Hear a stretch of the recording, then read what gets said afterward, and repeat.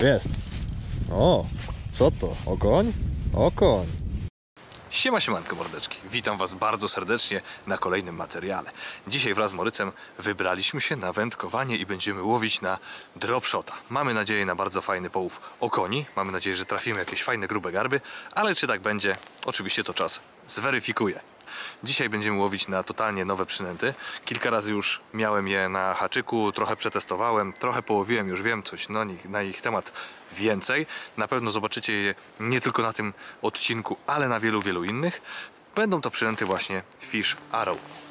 Na moich live'ach już y, trochę o nich wspominałem, już trochę o nich mówiłem, ale dzisiaj skupimy się konkretnie na właśnie tych przynętach, czyli Fish Arrow na dropshota. Jakie będą wyniki? Zobaczymy. Zapraszam Was do oglądania tego materiału. Zobaczymy i potestujemy bardzo fajne, realistyczne przynęty właśnie z Fisherowa. Zapraszam.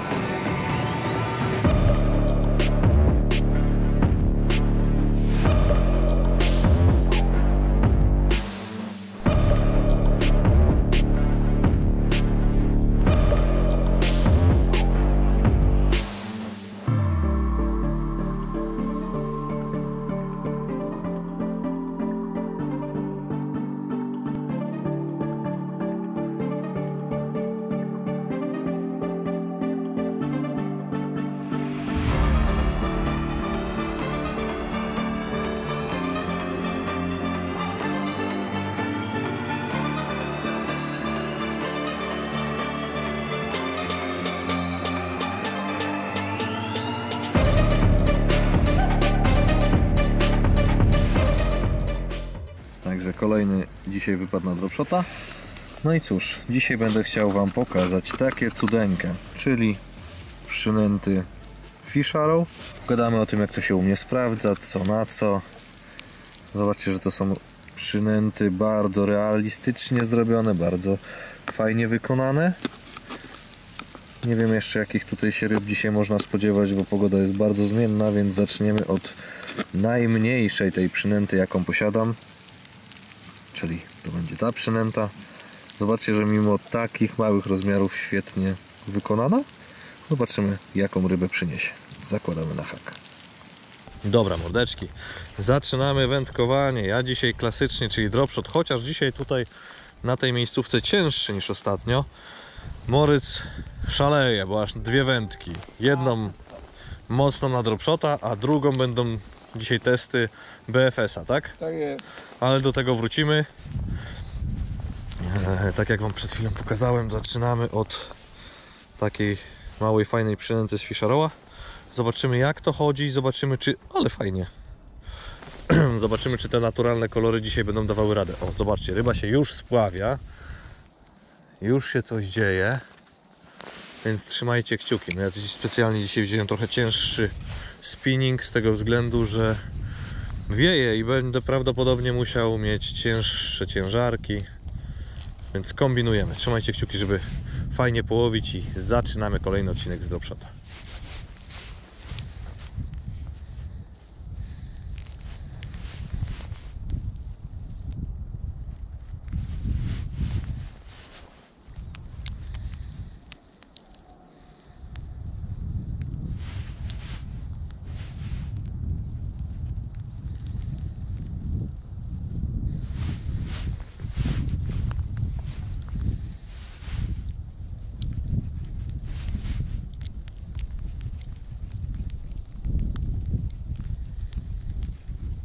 O kurde, widzisz to?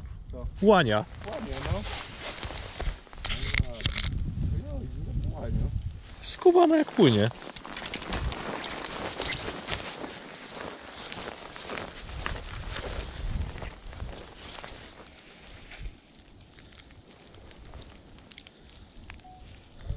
Nie wiem, kto się bardziej zdziwił, ta łania, czy my. No słuchajcie, jest taka nietypowa sprawa. Jest. O, co to? Okoń? Okoń. Ale głupie branie. Ale ładniejszy. Zobacz. Zobacz jak wpierdzielony fiszek. Opa. Ładnie zassałeś, ładnie, mordo. Ty no zobacz. Jaka gruba. Mam. A, ryba. No i taki piękny oksik strzelił na jaskółę i oczywiście wraca do wody.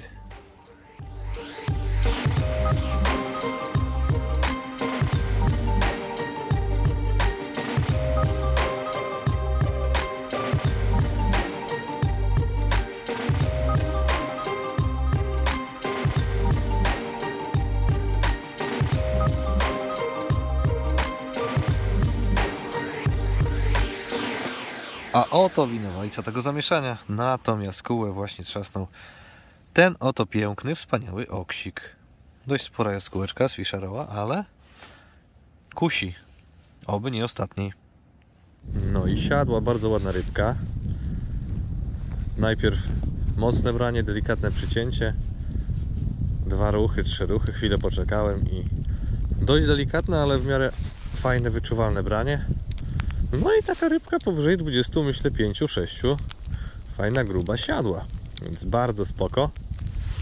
W sumie to wolę bardzo rzadko, ale już łowić takie 25 plus, może 30 niż te kurde palczaki.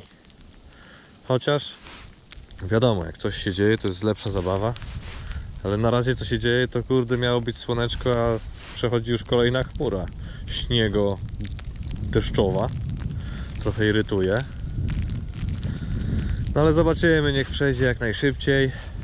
Niech się zaczną normalne brania. O ile tak będzie.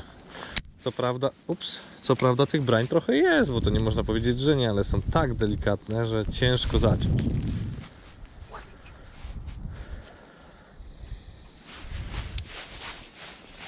ładny. Coś tam siedzi, słuchajcie. No, ale to już mniejszy, z daleka. Jaki malutek. Jaki kurna zakrztusił się, zobacz. Skubany. No trochę się kurde zdziwiłeś, Mordko, co? Ale ciekawe, może to będzie jakaś oznaka, że zaczynają coś współpracować. No zobaczcie. No taką przynętę, taki gamoń mały, no. No Dobrze. Hops. No dobrze, moi drodzy, w związku z tym, że już jakiś czas nie było u mnie konkursu na kanale, to dzisiaj właśnie zrobimy dla Was kolejny konkurs. Będzie on polegał oczywiście na tym, że ktoś z Was, którego wylosuję, dostanie paczkę przynęt na okonia. Czy to na dropa, czy na główkę, to będą takie przynęty, które będą dość uniwersalne, ale ktoś na pewno będzie z tej paczki zadowolony. Co trzeba zrobić, żeby wygrać w tym konkursie? Moi drodzy, konkurs jest dla subskrybentów mojego kanału, więc jeżeli jeszcze tego nie robisz, to naciśnij ten czerwony przycisk na dole, subskrybuj i zostań moim widzem. Oprócz tego zachęcam do zostawienia łapki pod tym filmem, Zachęcam do tego, żeby wbić do moje, na mojego Instagrama, gdzie też jest link w opisie, ML Bike Time. Tam zostawić follow, jeżeli oczywiście macie na to ochotę. No ale najważniejsze, musicie zostawić komentarz pod tym filmem, dowolny, absolutnie. Będzie wylosowany. Konkurs standardowo będzie trwał tydzień i w kolejnym materiale będą ogłoszone wyniki. Więc ja się biorę za czytanie Waszych komentarzy, a Wy dalej oglądajcie materiał z łowienia okoni na dropshota.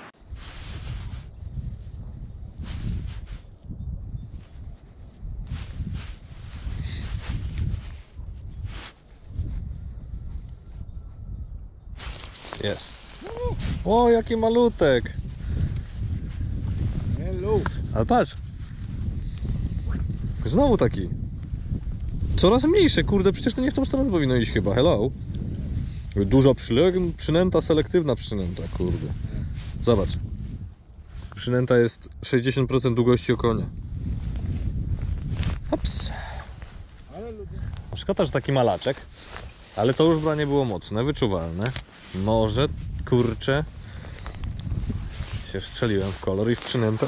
Najgorsze jest to, że mam jeden, jedyny, ostatni egzemplarz tej przynęty w tym kolorze. Także jak to obcinka będzie lub zerwę, to co wtedy? Jak już przyzwyczaiłem okonie, wytresowałem je. Ja nie wiem co to będzie, nie wiem. A tak całkiem serio, no to ewidentnie ten różowy im mocno... O, znowu było, znowu puknął, więc mocno im ten róż podpasował. Natomiast co do samych przynęt. Aktualnie mam je w takim właśnie oto pudełeczku. Nie, nie przejmujcie się tymi strzałami, po prostu jest tutaj niedaleko jakieś, nazwijmy to, nie wiem, polowanie i mam nadzieję, że nie jesteśmy przynętami, ale a propos przynęt, mam je tutaj ze sobą, moje kochane fisherowki, powiem Wam szczerze, bardzo fajne przynęty. Przede wszystkim łowne przynęty. Oczywiście jak to z tymi przynętami bywa, nie zawsze się łowi, nie zawsze można złowić kabana i nie zawsze się łowi 40, ale życzę Wam i sobie tego, żeby takich właśnie 40 było jak najwięcej. Takie przynęty, zobaczcie, bardzo fajnie wykonane, malutkie, świetne na taką porę roku jak teraz, gdzie te ryby są bardzo ospałe, biorą delikatnie. Zainteresowanie dużymi przynętami jest zazwyczaj różne, jeżeli chodzi o konie. Także naprawdę takie malutkie przynęty bardzo fajnie się sprawdzają. Na to miałem dzisiaj kilka branek na samym początku wędkowania, jednak później okazało się, że te ryby całkowicie zamarły i trzeba było kombinować. Niestety, tylko zdjęcie mam się tutaj teraz wyświetla przynęty, która mi dała największego konia dzisiaj i najwięcej. Była to bardzo fajna jaskółeczka koloru takiego różowego, ale niestety po prostu ją zerwałem.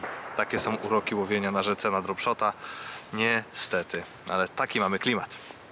Taką wybrałem miejscówkę, więc to było ryzyko wpisane. Idąc dalej, są tutaj też przynęty pływające. Mam tutaj ze sobą dwie takie przynęty. Zobaczcie, to są takie fajne jaskóły. To jest jedna, ona jest bardzo mięciutka. Mam wrażenie, że ona jest pusta w środku. I tak samo jak ta. To samo, też puściutkie w środku, też się unoszą, też pływają, więc na niektórych wodach naprawdę mogą robić bardzo fajną robotę. Niekoniecznie takie pływające myślę, że na dropshocie, ale na pewno na jakimś e, nedrigu, na jakimś po prostu główce jigowej czy czeburaszce myślę, że powinny robić naprawdę bardzo fajną robotę. To co uważam, że należy przede wszystkim podkreślić, jeżeli chodzi o te przynęty, to jakość wykonania. Są naprawdę nie wiem, czy to kamera odda. Myślę, że nie do końca. Są bardzo fajnie wykonane, bardzo dopracowane i wyglądają mega re realistycznie, zarówno w pudełku, jak i w wodzie. Dlatego też myślę, że kuszą tak fajnie i skutecznie mm, drapieżniki. No my się tutaj nastawiamy typowo na okonia, ale są też i większe rozmiary, które myślę, że można bardzo fajnie i skutecznie e, na przykład zaadoptować do łowienia czy sandaczy, czy chociażby szczupaków. Modeli jest mnóstwo, rozmiarów też jest sporo. Jest duża przewaga takich e, trzycalówek, które fajnie tutaj też się sprawdzają. Na przykład taka, zobaczcie. Ten element w środku, czyli taka, to, to, to takie srebrne, co się mieni, to jest jakaś, e, jakiś rodzaj, podejrzewam, folii ale bardzo fajnie kusi ryby. Świetnie to wygląda i na żywo, zarówno przynęta, jak i w wodzie, bardzo dobrze się prezentuje i myślę, że nie jedną rybę będzie tutaj kusić. Jeżeli będziecie chcieli zobaczyć jakieś konkretne modele, będziecie mieli pytania, oczywiście możecie pytać w komentarzach. Nie widziałem, żeby jakoś zbyt dużo osób pokazywało te przynęty, więc dlatego stwierdziłem, że może warto jest Wam je zaprezentować. Może będziecie chętni. Od razu zaznaczę, że może nie są to najtańsze przynęty, jakie widziałem okoniowe. Coś trzeba za nie tam dopłacić, ale uwierzcie, że warto tym bardziej, że to są przynęty, które naprawdę łowią i super kuszą, kuszą ryby. Yy, są nietuzinkowe, nie jest to takie wszystko, jakby się mogło wydawać, nie jest to takie wszystko na jedno kopyto. Naprawdę fajnie to wygląda i ja Wam to jestem w stanie polecić samemu na to łowie i tak jak mówię, na pewno nie jeden jeszcze materiał u mnie na kanale zobaczycie, jeżeli chodzi o łowienie właśnie na te przynęty. A teraz chodźcie, pokażę Wam, jak prezentują się one pod wodą. Start it up.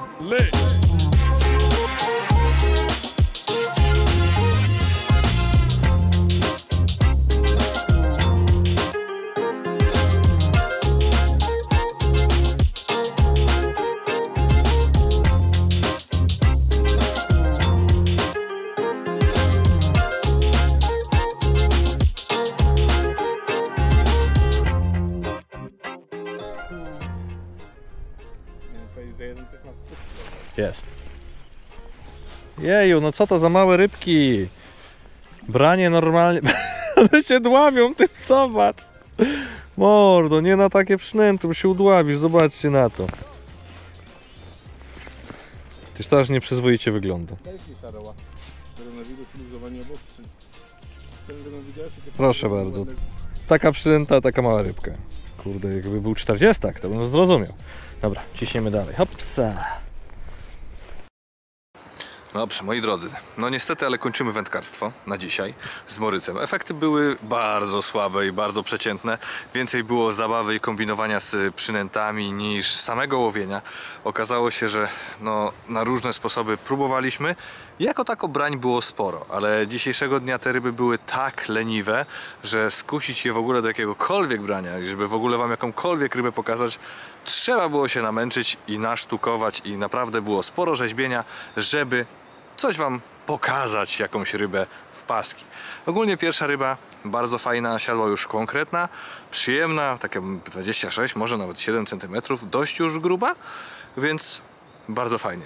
Trzy kolejne, niestety, ale pozostają bardzo wiele do życzenia bo były malutkie i nie wiem jakim cudem w ogóle one chciały i zaatakowały tą przynętę, bo wyglądało co, co najmniej śmiesznie, aż robiłem temu zdjęcie, jak one, takie małe ryby się tak zajadają ją tak sporymi przynętami, bo to były małe ryby na dość duże przynęty, uwierzcie. Oprócz tego mam nadzieję, że filmik Wam się podobał, że to jak pokazałem Wam te przynęty i pod wodą, i na rybie, i w rękach, że pewien obraz sytuacji, pewien obraz jak one wyglądają e, Wam przedstawiłem. Mam nadzieję, że e, takie filmiki Wam się podobają. Jak tak, to dawajcie znać, będzie takich więcej. Wracam do wędkowania, jeszcze parę kontrolnych rzutów i zawijamy się z Morycem. Dzięki bardzo za oglądanie tego materiału i widzimy się na kolejnym i mam nadzieję, że już z dużymi rybami, wielkimi kabanami, między innymi na właśnie Fisherowy. Strzałeczka, cześć!